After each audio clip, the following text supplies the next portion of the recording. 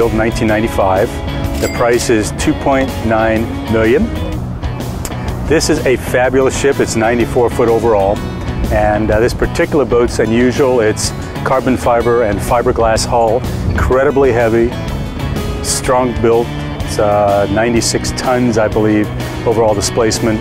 For that heavy a boat to do close to 30 knots is quite unusual. Um, the main salon is more like a bar room. It's got a huge stand-up bar counter.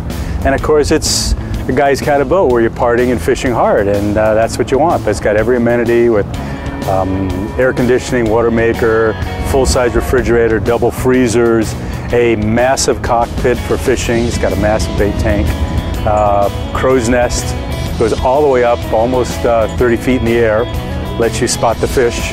It's got a uh, seven foot plank in the bow for spotting fish. Um, on the foredecks, a big uh, 14 foot tender, along with a big seating area. So you've got a large bow area, large stern area. It's a full walk around boat, just like fishermen like.